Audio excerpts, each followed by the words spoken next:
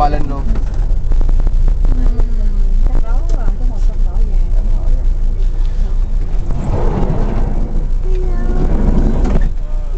Cho hỏi cái cơm ờ, gà thanh trì ở đâu anh cơm gà thanh trì ở đó đó hả vô trong sau cái chỗ này trắng à That's it. anh nghĩ thanh ký thanh trì họ bỏ thanh trì Thanh Kỳ hả? Kia thanh kỳ kìa. Một trắng là một trắng kìa đó. Cơm thanh kỳ kìa. Đó cơm gà thanh kỳ. Nãy đáng lẽ mình hỏi mấy ông này là làm chi là ngon. Hỏi còn quán nào nữa. Không? quán nữa không à